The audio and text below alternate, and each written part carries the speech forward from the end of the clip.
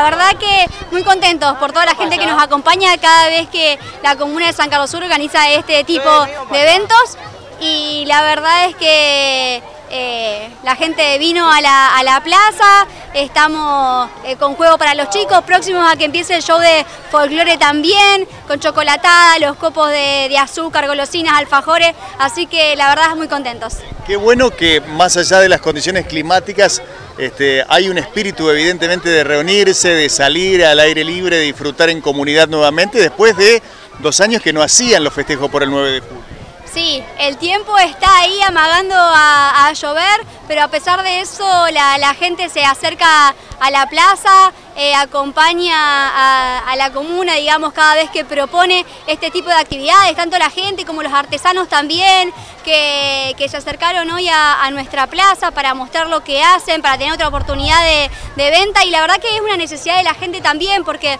después de dos años que no lo podíamos hacer, eh, tuvimos la, oportunidad de poder celebrarlo y aquí estamos, en la plaza más linda de San Carlos Sur. Eh, decíamos, con eh, feria de artesanos, pero muchos microemprendedores que hacen comida para vender. Digo,